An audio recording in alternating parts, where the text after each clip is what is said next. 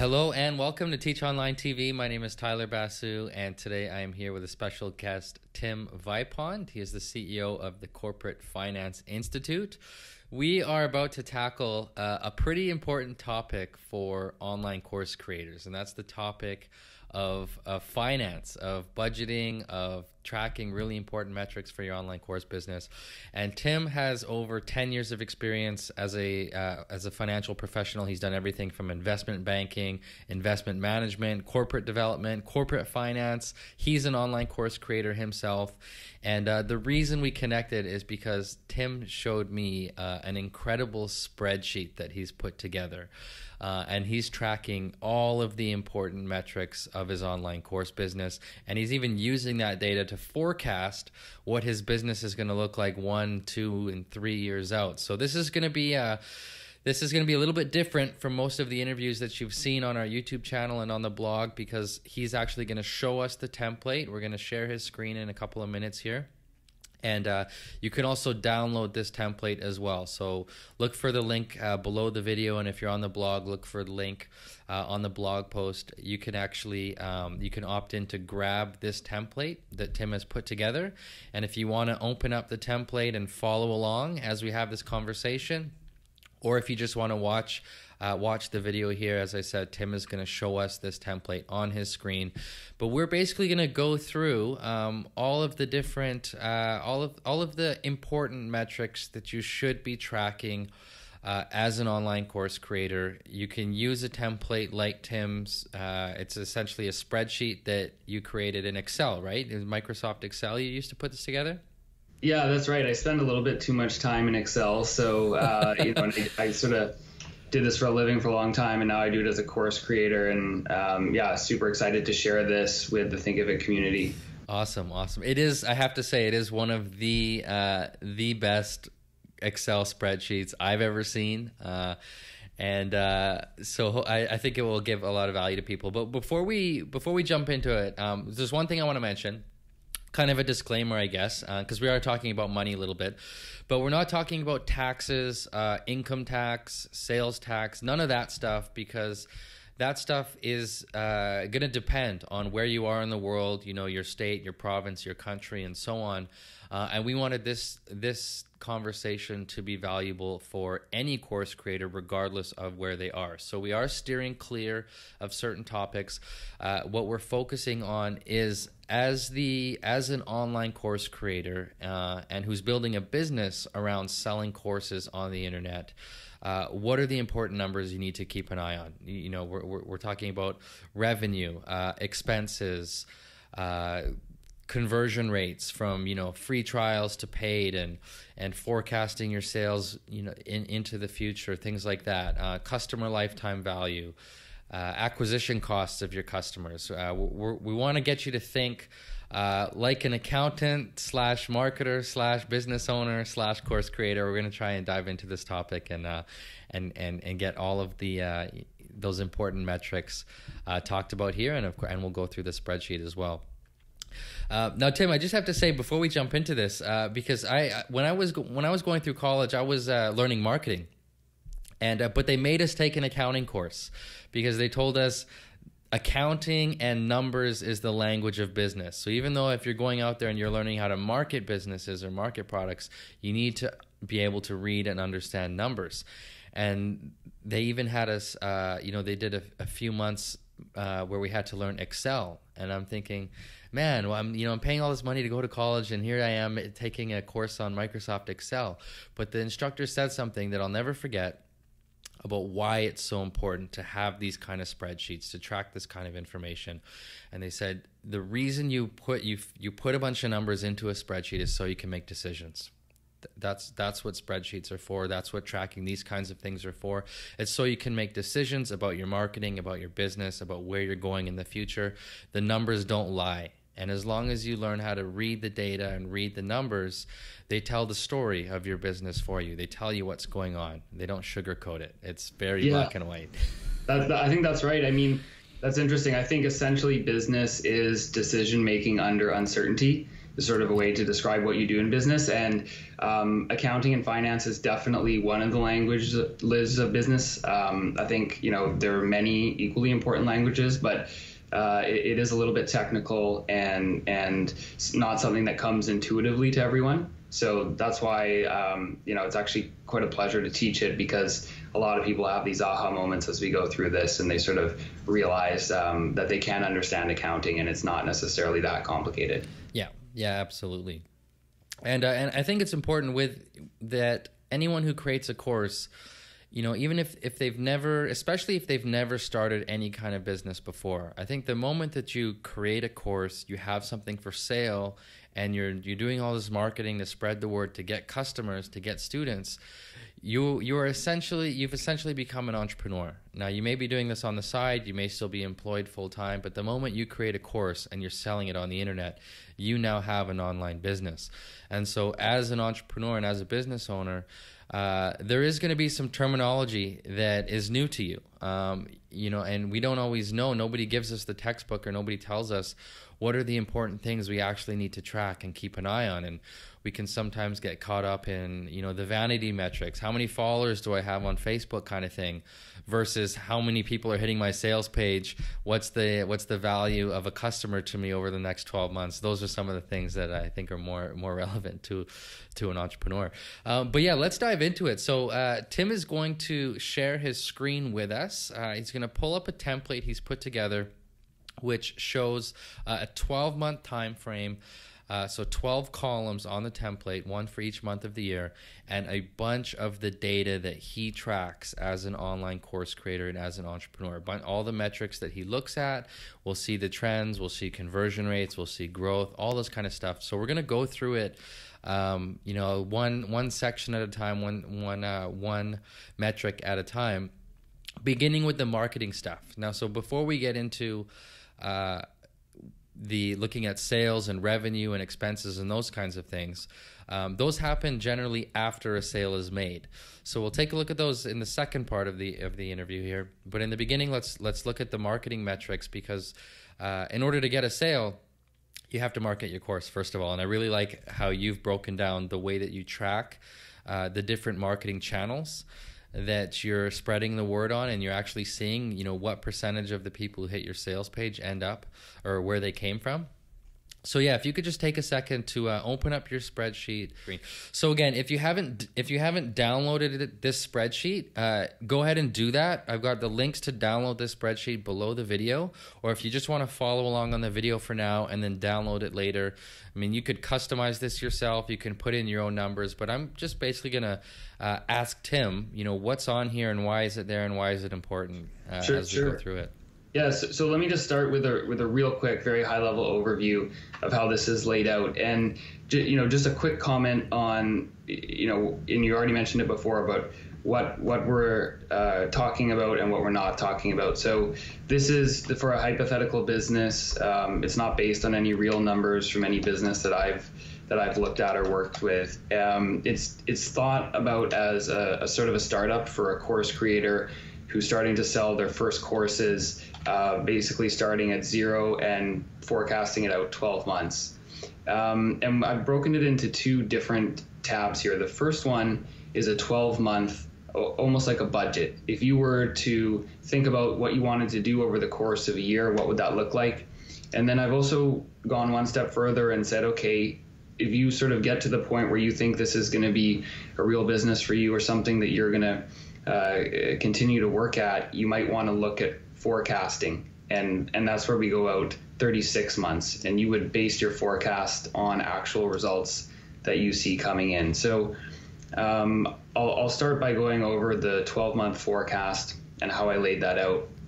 And you mentioned that that we start by looking at at um, things that are before revenue. Revenue is is almost like a lagging indicator um, for a business. And and really it's derived from depending on the type of business, you know, activities and and sort of value that you bring that generates revenue. And for us online course creators, I think traffic is um, one of the earliest metrics we can look at. Um, I will say though that there are activities before traffic that you should track. and I don't have on this spreadsheet, but you might look at things like number of, of blog posts, um, number of um, you know pages created on your website, or number of, of emails sent. Th- these are the things that would actually direct people to your site and bring the traffic. So I don't have that laid out here, but it's definitely something you should track. And based on those activities, you're going to get this section here, which is your sources of traffic by month. So I've broken traffic down into several categories, and you'll have your own that are unique to you and your business. But I generally like to think of organic traffic as being search engine traffic. Uh, paid traffic could be from a variety of sources, such as AdWords, um, or or affiliates or, or other paid channels like Facebook ads, for example. Yeah, Facebook ads. And uh, just and just to clarify, Tim, for a sec here, um, when we're talking about traffic, we're talking about visitors to the sales page of the course, or at least the course website, correct? Yeah, that's right. Whether it's okay. like your your full list of courses or one particular course, I would just think of this as traffic to a, a page that could convert to a sale. Okay. So maybe let's let's assume that somebody's got one course and this whole spreadsheet is for tracking sales of that one course and so in that scenario this would be traffic to the sales page of that course. Yes. Yeah, okay, let's use that as an example. That's great. So as you're thinking about this business, um, when you're first starting out at the beginning of the year, it, you know you could make an estimate of, of how much traffic you could get by a variety of sources, and and some of it will be you know free uh, in theory some of it will be paid some of it will just be direct from you giving people the url um, some of it could come from social from email. There, there's a whole variety of sources of traffic that you can generate. And the idea here is that you, you think about each channel and you think about what's a realistic volume that you can that you can achieve. And then you get your total traffic at the bottom of that so I should say that the way this model is laid out is, is any cell that contains a blue number with this light shading in it is an assumption. Mm. And the assumptions are there for you to change, for you to just type in whatever number you think is appropriate. All of the black cells are formulas, so they just automatically fill in without you doing any work. So that, this is how we build up the first level of the business, which is traffic to a sales page or some type of a conversion page. Right. And so we could even, let's say at the end of the month, input what actually happened, right? Like we, we could use this as uh, not just for forecasting, but for tracking the actual numbers as well. And then maybe after we've been tracking for a year, take that and forecast the next, uh, the next year after that based on like goals that we have yeah, absolutely. So I would encourage you to fill this in and maybe you use a different color coding as the actual results come in. Mm-hmm. And then on this next tab over here, what I actually envisioned was that you had this period of time of historical information. And then, as you said, you set goals. So now instead of, in the second version, instead of picking a specific traffic number uh, for May 2018, you actually have a growth rate and so the formula is based on a growth rate, a month over month growth rate. And that's kind of like your goal is, is in this case saying I want to grow 12% month over month. So that would be uh, that would be a shift um, down the road. And, and that's what those those rows above uh, above are like the first set of rows th- that are percentages. Those are growth uh, rates. That's right. So this okay. is showing uh, month over month growth rate by channel, and this just automatically fills in. If you don't have any numbers in here, um, you just see that it, it, sort of goes NA, and if you go down to zero, it's minus 100%. So uh, that, that just fills in for you automatically. Okay. So we could fill in like our actual numbers each month, and then it would tell us what our growth rate was from the, from yeah. the previous yeah. month. Yes, exactly. So if you, yeah, if you, um, if you just type over these with whatever your actual numbers are, it's going to spit out for you the growth rates at the top. And then over a year's time, you'll have a pretty good idea of what a normalized growth rate is for, for your for your courses, and and maybe you realize that that 10 or 20 percent month over month is realistic, or maybe you're growing at 50 percent month over month. I have no idea, but you can figure that out pretty quickly. No, that's very cool. And what, what I like about this as well is you can figure out if a particular channel is not growing at all, or like you know maybe social media is not really working out for you, but uh, but paid traffic is or email is. You know, so you can choose to, you know, based on after you know after you track for a few months or let's say a year. And you've got all this data on which channels brought in the most traffic to your to your course sales page you could then choose to invest more time and energy on those channels, the ones that are actually doing well, and double down, as you, as you might yeah. say. Yeah, that's exactly right. And it's back to your point about um, this this being a tool to make decisions, and it, that's exactly what it's for: is figuring out which channels are working, which are not working, you know, where you're converting or not converting, you know, how price is impacting um, your volume, all these kind of things uh, are, are, are being informed by the results as they come in. Awesome. So Tim, before we, uh, I see conversion is the next section, but before we jump into that, um, I'm just curious, what what what tool are are you using to grab your numbers? Oh uh, yeah. Is it Google yeah. Analytics or? Yeah, what, great what question. I was, I was, I was going to mention. So for me, it's Google Analytics. I can get all the traffic from all the channels um, through Google Analytics. Um, I, I, don't know if you have uh, what you're seeing from course creators at Thinkific, what some other sources are. Uh, well, we use Google Analytics ourselves as well, and so I think, and that's our probably our go-to recommendation. But I just want to make sure people know um, Google Analytics. If there's anything else out there, anything even more robust or more more detailed, I'd I'd be interested to hear about it. But I think Google Analytics for most people is going to be the go-to tool to get these numbers. Cool. So uh, let's let's move on to uh, to conversion. Um, I see that you've you've got a uh, two two items under conversion: the the free trial conversion and the full full course conversion. And you can do this on Thinkific. Of course, you can offer a free trial for your course.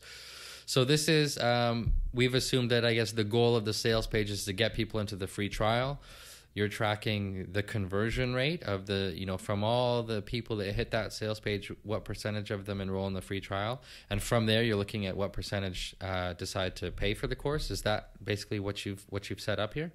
Yeah that's exactly it. So i think about I, I imagine most course creators uh, probably have a multi-step conversion, at, at least for a lot of their students. And so whether that that first conversion is a free trial or it's just an outright free course um, that feeds into other courses, or or it's a webinar, or it's um, some type of like a an ebook that you download. Whatever it is, whatever it is that you're using, you most likely have this two step conversion. And then, so so first I would look at how many students I, I believe would sign up for that that first like sort of freemium part of the freemium model, and then how many would later convert to actually purchase the full course. So this is essentially the sales funnel section, and there's, di- I mean, there's, as you just said, there's different, uh, there's different components of a sales funnel. Some people do, you know, free trial to paid course, free course to paid course, uh, low price course to high price course, you know, email course to like. There's different ways you can do it, but we're free to just input whatever it is that we that you know, whatever it is that we're offering and we want to track in there, right? We can just go ahead and change the label, I guess. Yeah, that's exactly it. And I think that for the purposes of, of this little demonstration here, I've kept it fairly simple, but you might actually have, um, you know, a whole bunch of categories for for your conversions, like by channel. You may actually repeat this. So you may say, it, I've used a blended conversion, but you may say, what's the conversion rate of traffic that was paid, organic, direct, social, or other? Mm-hmm and and so you could add you would if you were if you were to do that you would essentially just add a bunch of rows here and you would you would take the numbers and you would have like you know sort of three steps. So or or however many channels you want to track. Um, but but for simplicity here I've just assumed that all channels are providing equal quality uh, traffic although that may not be true but but that it works well for this model to just assume that it's a blended rate and so th- those percentages there, uh, like with the, in that first row for January, we've got total traffic uh, 675. So that's uh, you know almost 700 people that hit the sales page. So the three free trial conversion, three percent. That means 20 people are now in a free trial. and then from there, we've got out of 20 people in a free trial, you've assumed that one pays for the course. And so that's that 5% comes from one out of 20, correct? Exactly. And, you know, I, I've tried to be, uh, let's just say, pretty. Uh, conservative here with a very first month of a course when when who knows if anyone's going to buy it so you, you kind of make this guess about how many people will sign up um, for free trial how many will sign up for orders and then you back into what that implied conversion rate is mm-hmm. as opposed to what I'll show you here on the 36 month forecast is is over time once you have an understanding of like a normalized conversion rate in this case it looks like let's say 7%, then instead of predicting the number of enrollments, I would just I would just predict the conversion rate and I would say I would flip it around. So then I would say based on a 7% conversion rate, how many new students will I get? So so you can come at it either way. Yeah. But um, I think in these early days it's it's intuitively easier to think about how many students will sign up. Yeah. And once you have that, you know, that conversion rate, uh, it's pretty easy to you know take that number uh, and set goals based on that number. Like if if you know that you, you you've got uh, you know a seven percent conversion rate, let's say, or you got one one sale. Uh, going back to that first column in January, let's say somebody gets one sale, a paid sale from uh, what was 675 visitors to their sales page then they know that roughly, you know, assuming nothing else changes, that for every 700 people that get to their website, they're going to get one sale. So you can work backwards from there as saying, like, okay, if next month I want to make two sales, then I need to probably get about 1,400 people to my website. Does that make sense? And then it looks like that's happened in the next column. There's more. Um, or this is a running total, I see month to so month. I, have got a running total of. Uh, so so I've yeah I've got essentially um, the number of new students each month, and then also a running total, which it may just be interesting to count what's your what's your total student count, and that sort of feeds into your email list and and sort of the, the overall size of the business. Yeah. Okay, cool. No, I, no, I really like this. So we've gone from, uh, you know, tracking uh, which of the different marketing channels uh, people are that are working and getting people to our sales page from that we're tracking how many people signed up for a free trial or, or an introductory course or a free course and from there how many people signed up for a paid course so the moment we're getting people signing up for paid courses now we have revenue so this opens up a whole new uh, a whole new uh, can of things to be tracking and metrics to be looking at. So why don't you uh, walk us through what, how you set up the revenue here? And yeah, absolutely. And and again, it's simplified in in one line here, which is average order value, which or, or average course price, whatever you'd like to call it. And depending on the level of complexity you want, you may add um, a whole series of rows here with with individual course prices that then you take an average of, or, or maybe you only have one course, and so this is fairly straightforward. Uh, but this number is representative of the the fully discounted or, or net price of the course. So what I've just tried to make up here is this scenario where someone's starting off in their very first month with a lot of discounting. And and I think ultimately they want to get to this column over here in December where it's $300 is the average course price. Okay. But they've sort of had a set a strategy of incrementally moving the price of that course up over the year. Yep. And then to calculate the total revenue line, you simply take the average course price and multiply it by the number of, of, of, fully paid conversions that you have in the month. So you can see here, um, this course creator hits about 5000 a month of revenue by December based on 16 courses at $300.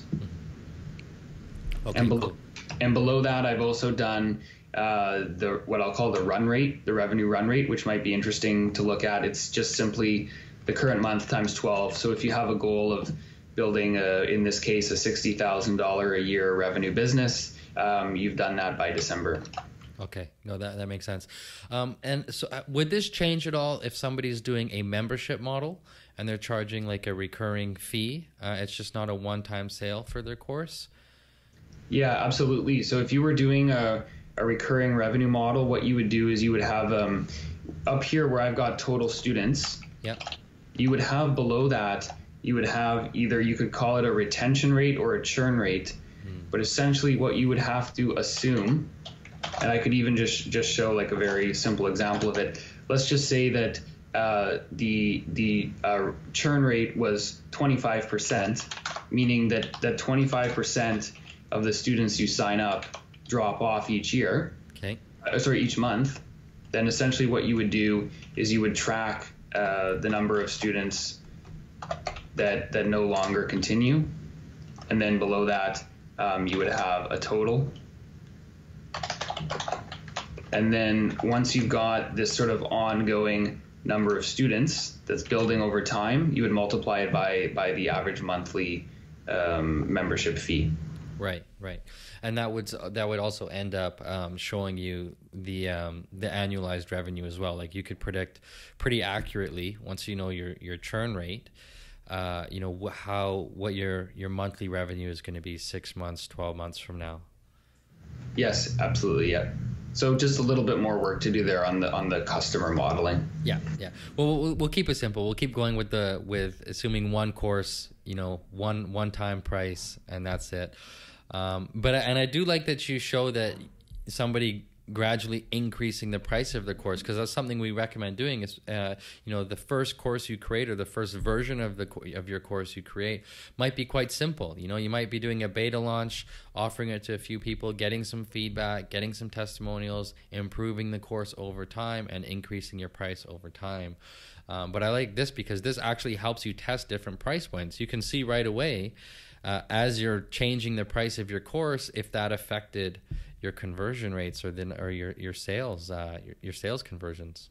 Mm-hmm. Yeah, absolutely. And so this is just a hypothetical situation, but in this situation, you see that, that there's really no detrimental impact on conversion as price goes up, and maybe that's because, as you as you pointed out, quality goes up as well. And so, uh, you know, every month you're working on the course, you're adding new content and making it better, and and therefore you can justify a higher price. Cool. Um, okay, so now we're going to get into some of the expenses. Um, I mean, revenue is, is not the same as profit. We're, our sales are going to bring in that revenue, but then uh, there's you know there's uh, payment processing fees, which I see you've included there, and we'll and then we'll get into some of the actual costs of having an online business and having a you know a course website and and all those things. Um, and so we'll end up with profit at the bottom. But if you could walk us through how you've uh, separated the the type the expenses and the, just the common types of expenses you've assumed that a, a course creator will have. Yeah, so I've broken all the expenses down into two categories. The first is variable, and the second is fixed. And in the accounting world, that just mean variable just means that that cost is is directly applied to every order. So if you do twice as many orders, you have your variable cost is twice twice as high in total. Um, it's based on the number of orders or transactions, and so uh, I think for most course creators, uh, payment processing, if you're using Stripe or PayPal, I've, you know, it's typically running at around three percent. So that's really the first variable expense you incur right off the top before you get your money. It's, it's going to have three percent taken off the top by the payment processors. Um, another another big variable cost for most course creators, I assume, is um, uh, like a like a cost per click or a cost per lead or or a cost per acquisition, if whatever. Running type, ads. Yeah, any type of ad that you're running.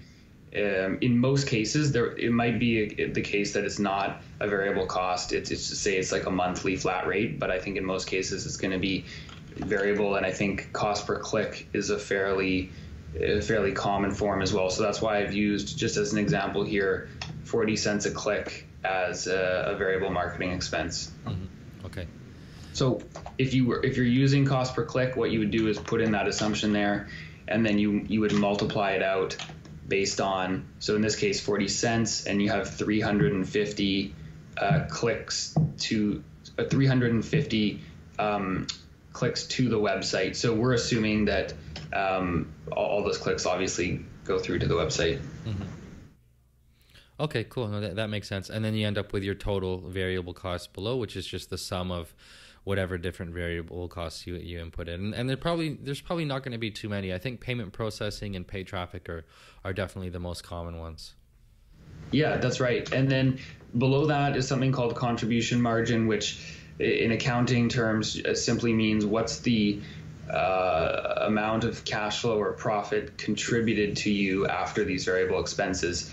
Or another way of putting it is how much how much more money do you get from from selling more courses and okay. sort, sort before the fixed cost of the business. And so right now it's in brackets, ninety two dollars in brackets. So that's a uh, that represents a loss then, right? That, that's right. So because um, again, the course price was only fifty bucks. You, exactly. You sold one course for fifty, and you spent one hundred and forty-two on marketing. Yeah. And I don't think it's unreasonable to assume that you know you'd probably spend more than you earn in the first few months, and so that, that's sort of what I've shown it as an example. What if we uh, if we just change that course price without touching anything else? Not we don't change the number of people who hit the site. We don't change conversion rates. Nothing. Let's just put in a course price of five hundred and see and see what happens. So so the marketing expense has stayed the same. Yeah. Same amount of traffic, same same conversion. The only thing that's gone up is the payment processing has gone went from whatever it was one or two dollars to fifteen. Yeah. So the contribution is three hundred forty five, and then after your fixed cost is two forty five. So okay, so we got three forty five in profit before we get into the fixed costs. Um, so right away we can see one of the main benefits of of increasing uh, the price of a course. makes it makes it a lot easier to be profitable, uh, especially if you're spending money on ads. I mean, if you're spending money on ads and your course is fifty bucks, it might be pretty tricky to generate a profit. You might have to do a lot of testing or run a lot of ads till you find out what works, or you get your your cost per click down. Um, but yeah, okay, so cool. It's it's easy enough to to see what happens when we just change the price of a course there. So if we keep going down to fixed costs, um, so what are the assumptions you've made here with uh, with what are you know some of the possible fixed so, costs that someone could have? Yeah, so I think I don't I don't know if hosting is necessarily what you'd call it, but you know, assuming you're you're running on the Thinkific platform, I think your your sort of premium business plan is ninety nine dollars a month if you go on the monthly thing. So I just rounded that up to a hundred. Okay. So in, in month one, I'm saying your your only expense is Thinkific, okay. plus whatever you spent on Google AdWords, and so so you have this fixed cost here of a hundred a month, and then once you deduct that, you're you're left with a, some metric. You might call it profit before taxes. You might call it cash flow. It, but essentially, this is what's left over for you at the end of the day. Okay. Okay. Um, no, that that makes sense. So, ca- and what do we got below cash flow margin? What does that mean? So the margin takes that net number, cash flow or profit, and divides it by the revenue. So over time, you see that this goes from from being a negative margin to breaking even, and then ultimately having a very high margin of, of 50%, which would be, you know, a very profitable little business. Yeah. Yeah. Okay, cool. Um, and so going, continuing down the spreadsheet there, uh, we've got customer metrics. Uh, and there's a couple of them of, of them in there. So if you could just explain what what the uh, those abbreviations stand for CAC, AOV over CAC. Like, what is the what do those mean, uh, and why is it important for us to track those as well? Sure. So there, there, are a variety of customer metrics you might want to track, and and everyone has their own spin on it. But the, the CAC stands for customer acquisition cost, and and I've put in brackets here paid, which which is to say, how many of the customers did we get from paid channels? Hmm and and how much did we pay to get each of those customers? And so in the early days, uh, you see we're spending quite a bit of money to, to get a customer, um, but then going down over time. And then below that, AOV is the average order value, or you might call it the average, you might rename that to average course price or something like that. But it's important to look at the ratio of the average course revenue to the acquisition cost. And if that if that ratio is less than one, meaning you let's say you have a $500 course um, and you spent $700 to get that person, so that, so it's um, you, you, have this ratio being less than one, then you're you're not generating value. Um, but if you have this over time, if you have this becoming up greater than one and this and up to two times, you're actually creating a lot of value by acquiring those new customers. Right, right. Okay. So for, for someone who has um, a recurring revenue business, then or, or repeat customers, there's this concept of customer lifetime value or LTV. Mm-hmm. And then that would be a function of that that same person coming back and buying multiple courses. So you could in fact pay more to acquire that person. But in this case, we're just assuming it's only it's only a one-time purchase per per customer. Okay, cool. Um, and so what uh, you've got, so that's it as far as uh, the data that we're tracking, and then below that you've got uh, some graphs, correct? Some charts that just show visually the uh, the data. Yeah, so these just auto auto populate if you were to use this. Um, you know, I, I find this helpful representation where we've got 12 months uh, of, of monthly site traffic, and I've just used a stacked column chart here to show, uh, based on the legend, you can see what each channel represents, and so you can okay. you can see that. Um, particularly, it's easier to see in, in the 12th month that this business is primarily driven by by paid traffic on the top there, Yep. and um, some direct traffic in the middle, and then organic search traffic at the bottom. But uh, social and and the other category don't make up very much. Below that, I'm tracking the average course price or the average order value over time, and, and we can see it ramping up to 300 at the end. Below that, I'm calculating the monthly profit or monthly cash flow, whatever term you, prefer, and you can see this business it's it's it's negative in um, the first six months, first seven months, and then and then turning positive over time. Here's another good one to track the conversion rate, and I've there's two conversion rates for this course creator. So um, the the blue one is the free trial, and the orange one is the the full conversion. And you can see that hopefully both of these are trending up and to the right over time, meaning the conversion rate is getting higher. Um, monthly revenue that's the number of orders times the average course price and then you've got this annualized cash flow or profit which is which is basically the same as the one that i showed up here the monthly one is just multiplied by 12 Okay. that's this um, and then you've got the total number of orders that might also be helpful to track starting from one at the beginning getting up until 16 in in the 12th month um, this one is called the the annual run rate, which is the annualized revenue. So I've taken the monthly revenue and multiplied it by 12. Okay. So you, you can see here this business is doing almost 60,000 a year by the 12th month. Yeah. And the last one was is the ratio of the the average course price or order value And to uh, to the customer acquisition cost. and we want to be above one. That means like And- profitable is above 1.0, right? Yeah, exactly. So you could we could actually add like a dotted line here along one that might be helpful, and then you can see that um, you know you're sort of break, breaking you're, you're over one at the end. Now I should say you you probably want to be a fair amount higher than one, but at least at one you're breaking even on the acquisition cost. It doesn't necessarily mean your business is, is making money. Right, right. No, that, that's a good point. Um, so if somebody has just one course, then is the average order value going to be different from customer lifetime value, or how do you, how do you define customer lifetime value? Like, what is that time frame? Lifetime. So it, it's calculated into perpetuity. So it, if you had someone who came back, um, you know, or, or if it was a monthly plan, is probably an easier way to think of it. If it was a monthly plan, and on average, um, your customers subscribed for three years. So you'd have 36 months. Essentially, what you would do is you would take the monthly revenue and you would multiply it by 36 to get the that would be the lifetime value of the customer because you know that on average they're going to stay with you for 36 months before canceling. Okay, cool. And then if it's just if you've just got one course and they just pay one time, and let's say you don't yet, you know, you don't ha- you don't yet have plans to create multiple courses and be able to sell more than one course to the same customer, then let's just assume that the the lifetime value of that customer is just whatever your course price is essentially until you have more more courses to offer them. Uh, essentially, and and just a quick comment that when I'm saying lifetime value in this context, I mean revenue.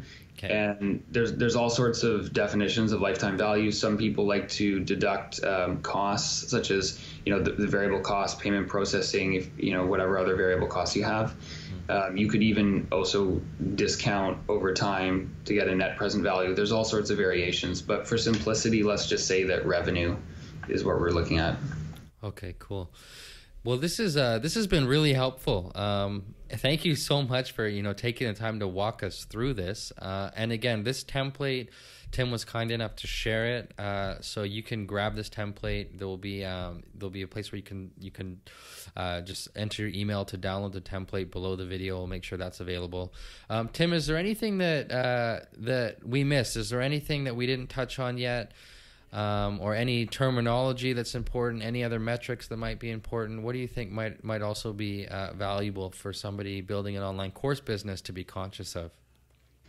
Gee, I don't know. I think we've covered a lot in a short time. Um, I'd love to do a follow up though, if there are questions or or, or comments that come back. Maybe we can do a follow up session. But um, I think off the top of my head, thinking just thinking about uh, just to reiterate, thinking about activities that generate results so whatever that is for your business, whether it's creating content, uh, blogs, pages for your website, tracking those and seeing how they generate uh, people to your course landing page, how well that course landing page is converting, and it might be a two-step conversion. And then once you have that data, optimizing your business. So looking at what's working, what's not working, focusing all your efforts on those that produce the best results.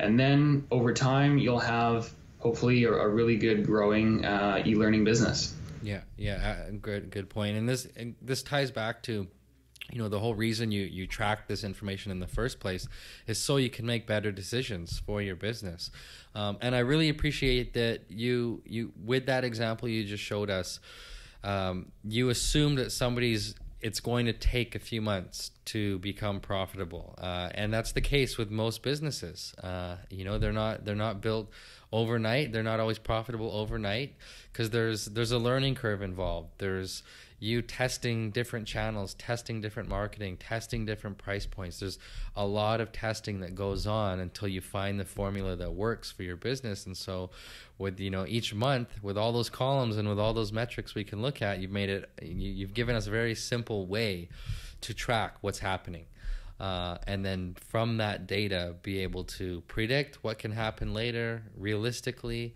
uh, be able to set goals. And you know maybe that can be part of uh, if we do some sort of a follow-up training later on. Because with this with this i think people will be able to go and take that template maybe customize it a little bit start tracking the data for their online courses. But once they've got some data so let's say somebody has six months of data from their business uh, now they want to start setting goals and forecasting maybe we could do some kind of a training on on you know sure. on that phase. We didn't really touch that on forecasting too. too. much, but I think that might be the next uh, a natural next step. Yeah, awesome. Sounds good. Cool. Well, Tim, thank you so much. Um, this has been a pleasure. Uh, if our audience wants to get in touch with you, if they have any questions, if they want to, you know, check out your courses, check out your stuff, uh, where can we send them? Yeah, so I think the best place to start is our website, corporatefinanceinstitute.com. Uh, we've got all sorts of templates. Uh, we've got several free courses, you know, an accounting crash course, how to read financial statements. Um, so, so, you can certainly help yourself to all those free resources. If you want to reach out to me, you can email us at learning at corporatefinanceinstitute.com, and I'm happy to take any questions over email. Okay, awesome, Tim. Well, thank you so much, and uh, we'll talk to you again soon. Thanks a lot. Cheers. Bye.